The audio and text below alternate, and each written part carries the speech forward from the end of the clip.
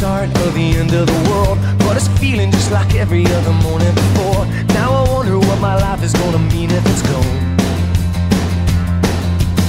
The cars are moving like a half a mile an hour, and I started staring at the passengers and waving goodbye. Can you tell me what was ever really special about me all this time?